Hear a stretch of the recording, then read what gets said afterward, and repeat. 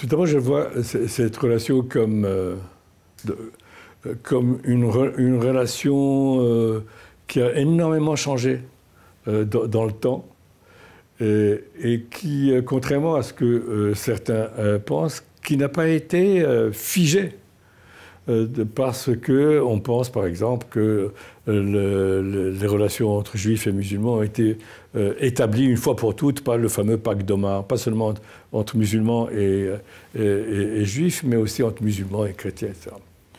Or, quand on analyse vraiment cette histoire, on voit en fait que le, pacte d'Omar, d'ailleurs, c'est assez étrange, ce, pacte d'Omar n'a jamais été rédigé par les musulmans eux-mêmes. Le pacte d'Omar, c'était quoi? C'est une lettre du patriarche de Jérusalem euh, au gouverneur euh, euh, de, de, la ville, au gouverneur musulman, il disait voilà, nous nous engageons à faire ceci, ceci et cela. C'est assez étrange, n'est-ce pas? Et donc, même, mais même si on considère que ce pacte d'Omar a existé, d'ailleurs on, on l'appelle Omar, mais on ne sait même pas de quel Omar il s'agit. D'accord? Si c'est Omar Ier, Omar Ibn Khatib ou, l'autre. Donc, mais peu, importe la, contextualisation de, de, ce pacte, on sait aujourd'hui qu'il n'a jamais été appliqué euh, entièrement. Euh, par exemple, euh, euh, il est, dans ce pacte d'Omar, il était interdit aux, Juifs de monter à cheval ou de, porter une épée. Or, on le sait, historiquement parlant, qu'en Espagne, par exemple, il y avait des chefs militaires juifs qui ont servi dans les armées, dans, les armées andalouses, etc. ou bien que les Juifs étaient obligés de, porter un certain habit. Ils pouvaient s'habiller comme, comme ils voulaient par, par certaines époques.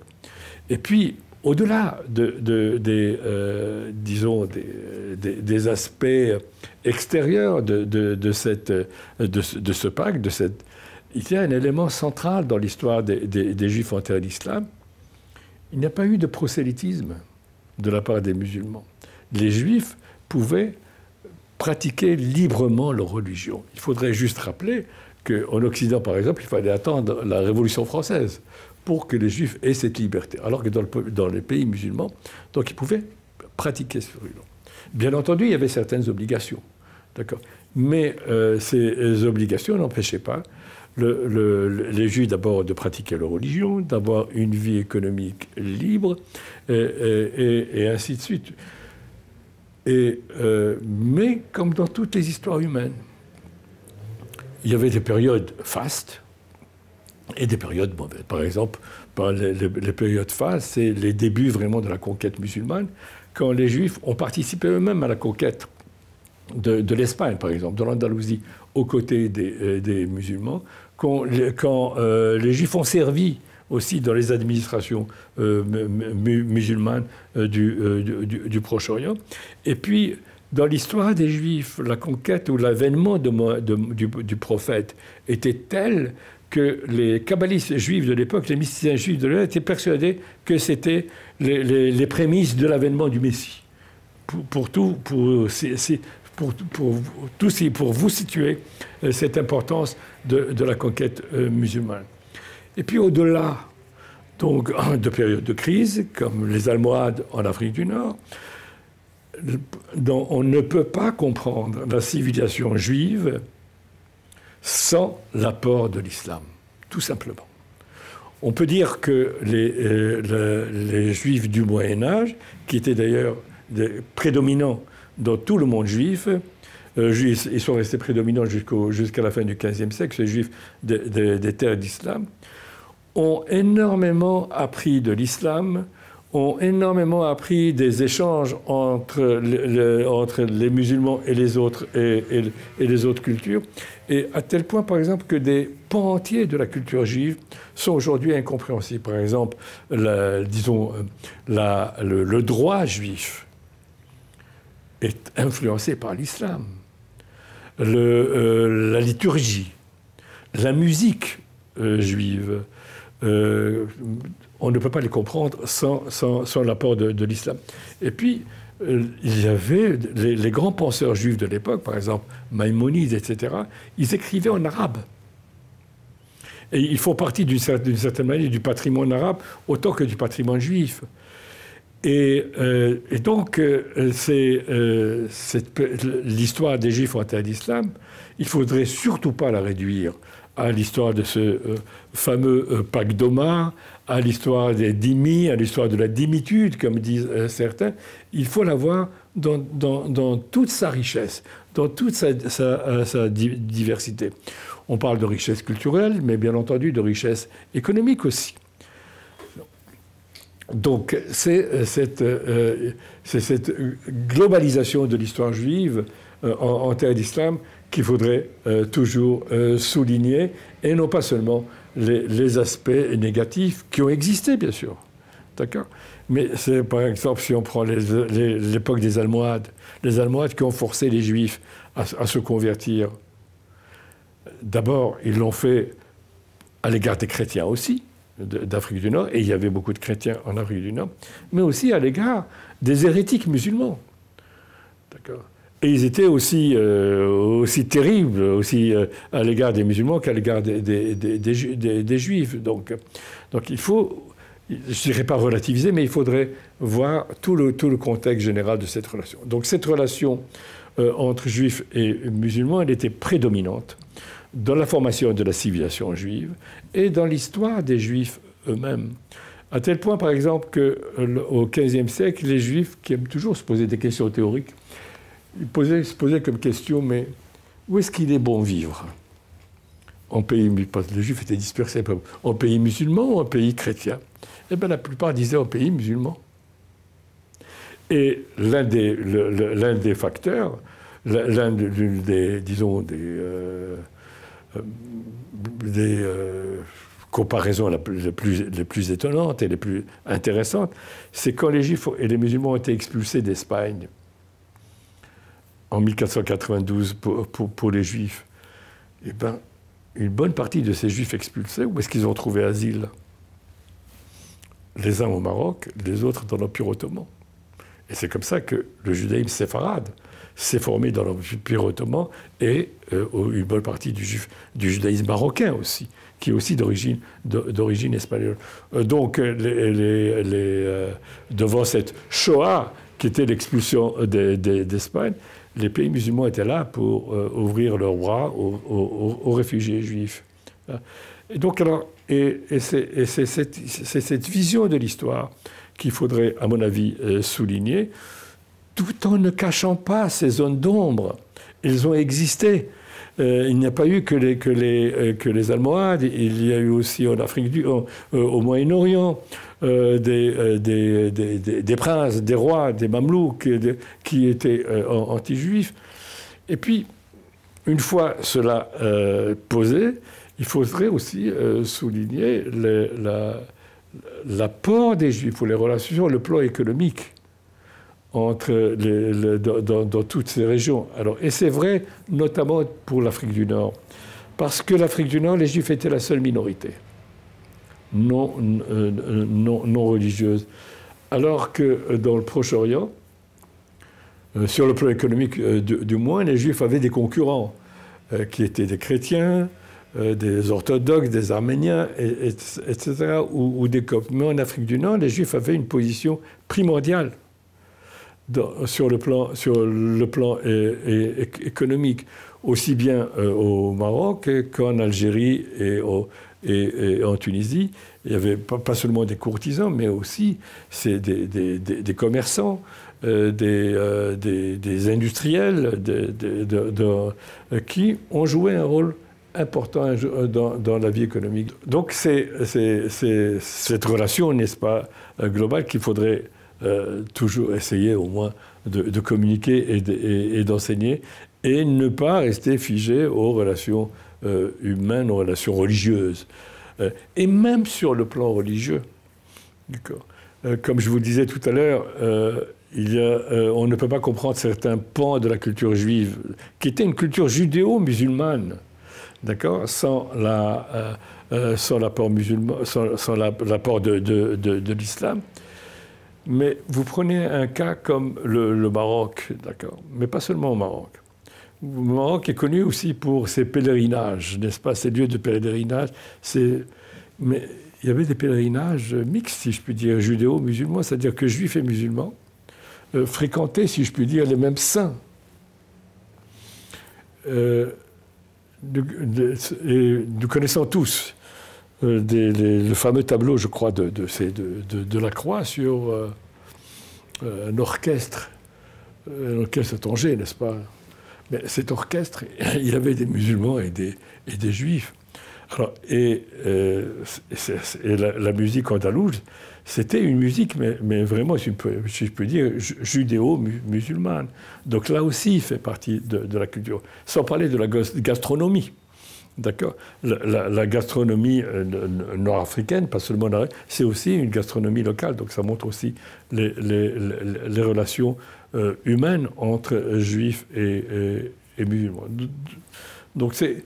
Et ce n'est pas une histoire de tragédie, euh, comme certains voudraient nous le présenter, et surtout ne pas la présenter comme si la colonisation était là, était venue pour sauver les Juifs. Au contraire, la colonisation, d'abord, elle a aggravé, ou elle a aggravé la relation entre Juifs et musulmans, et contrairement à ce que disent certains, si je, prenais juste le cas de l'Algérie, la, colonisation de, l'Algérie a donné naissance à un phénomène qui était inconnu jusque-là, l'antisémitisme.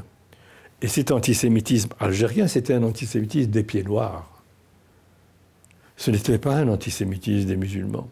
Cet antisémitisme des pieds noirs qui est né de la déclaration, du décret Crémieux, qui a, euh, donné, euh, qui a attribué aux Juifs d'Algérie la nationalité française. Or, les musulmans n'ont pas réagi. Peut-être même, ils ont réagi avec mépris à, cette, à, cette, promotion des Juifs, mais ceux qui ont très très mal réagi, c'était les pieds noirs. Et donc, nous avons vraiment une vingtaine d'années d'antisémitisme virulent de l'Algérie française et des pieds noirs, à tel point, je on peut dire que l'Algérie française a été probablement le laboratoire de, l'antisémitisme français, puisqu'on voit les mêmes personnages, euh, Édouard Durmont et d'autres, et tous les, qui ont fait leur classe, si je puis dire, en Algérie, euh, euh, parallèlement à, tout ce qu'ils faisaient en, France. Et, d'ailleurs, si j'élargis cette, cette thématique à tout le monde arabo-musulman, on peut dire que euh, jusqu'à, disons, euh, euh, jusqu'à l'irruption de l'Occident dans le monde musulman, disons jusqu'au début du 19e siècle, à la fin du 18e, au début du 19e siècle, les relations entre juifs et musulmans étaient des relations religieuses, ou, les, antagonismes, plus exactement, les antagonismes étaient des antagonismes religieux. Avec l'arrivée des, Européens au Moyen-Orient puis en Afrique du Nord, on va assister à une politisation de ces euh, euh, relations. Euh, les musulmans auront tendance à considérer les juifs comme des, je dirais pas des traîtres, mais comme des, des ingrats, à savoir ils sont plutôt rapprochés des, des colonisateurs, des impérialistes européens, au lieu de rester du côté des, des, euh, musulmans. Donc il y a des relations, euh, les relations vont, disons, se détériorer sur, pour des raisons politiques et non pas euh, religieuses. Mais malgré tout, s'il y a des, affrontements, c'est d'abord entre juifs et chrétiens. Et le meilleur exemple, c'est celui de l'affaire de Damas. L'affaire de Damas, quand en 1840, il y a eu une véritable levée de boucliers contre les juifs à Damas, c'était le fait des chrétiens qui avaient accusé les juifs de meurtre rituel. Or, cette notion de meurtre rituel d'un prêtre, n'est-ce pas, Adam? Or, cette notion de meurtre rituel, elle est totalement étrangère à la culture musulmane. Et donc, on va assister, dans tout ce Moyen-Orient, sauf en Afrique du Nord, à des, euh, accusations de meurtre rituel, à des qui sont dues euh, à, l'action des, des chrétiens sur place et non pas des musulmans. bien sûr, à la longue, une thématique antisémite, anti-juive, chrétienne, euh, d'origine médiévale, va s'infiltrer dans la phraséologie, dans le discours politique des, des élites musulmanes, grâce notamment à la presse, à, la presse arabe, la nouvelle presse arabe, qui était, par exemple si on prend le cas de, l'Égypte, qui était surtout entre les mains de chrétiens. Et ces chrétiens, bien entendu, par exemple, durant l'affaire Dreyfus, D'accord Ils vont commencer à parler énormément de l'affaire Dreyfus, des accusations anti-juives de l'affaire Dreyfus. Et c'est comme ça que, cette, que, ces que ces thématiques antisémites vont s'infiltrer. Ce, qui est un, fait, à savoir, c'est une, une, thématique étrangère au monde de l'islam, mais qui va aussi cheminer, qui va faire son cheminement à l'intérieur de du discours anti-juif euh, du, du Moyen-Orient. Et donc c'est comme ça, par exemple, qu'on va avoir dans des discours comme le juif antisémite, le juif pardon, euh, voleur le juif euh, de, qui assassine les prophètes, etc. Des, thèmes venus tout droit de la phraséologie antisémite européenne. Et puis, puisqu'on parle de, politisation de ces relations, on ne peut pas, avec la colonisation, on ne, peut, on ne peut pas, bien entendu, oublier le sionisme. Le sionisme qui fait son apparition à la fin du XIXe siècle. C'est-à-dire quoi À l'époque de, de, l'impérialisme européen. Et pour, les élites euh, musulmanes, les élites du, Proche-Orient, euh, cette arrivée des, des, euh, des, sionistes, cette irruption des sionistes au Proche-Orient fait partie de cette expansion de l'impérialisme européen, d'autant plus que les sionistes avaient aussi des façons d'être, des façons d'agir qui rappelaient énormément les, façons d'agir des, colons, européens. bien entendu, il, y a aussi l'autre, l'élément important, à savoir, les, les, sionistes sont venus au cœur même du, du, Proche-Orient, la Palestine, Jérusalem, et donc, et euh, ce qui va donner euh, euh, naissance au conflit israélo-arabe auquel nous assistons jusqu'à nos jours. Tout d'abord, euh, et c'est mon point de vue de base, c'est que les relations euh, entre juifs et musulmans à travers l'histoire, depuis l'époque du prophète jusqu'à nos jours, sont euh, suffisamment riches, suffisamment diversifiées pour ne pas supporter des simplifications. Et, donc des, des, simplifications et des généralisations hâtives. dans ces relations, euh, on trouve absolument tout, d'accord euh, Depuis euh, les, éléments les, plus extraordinaires de coopération et d'échange, jusqu'aux, bien sûr, aux éléments les plus ignobles, n'est-ce pas, de, guerre et, et, de conflit.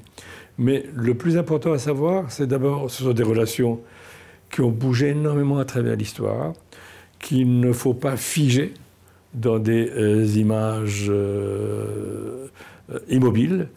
Et puis, euh, bien sûr, c'est des relations qui ont connu aussi des âges d'or très importants. Et le plus important pour relier à, à ce qu'on disait tout à l'heure de la première séance, finalement, s'il y a eu Shoah, elle n'a pas eu lieu dans le monde musulman, elle a eu lieu en Europe, dans ce monde chrétien.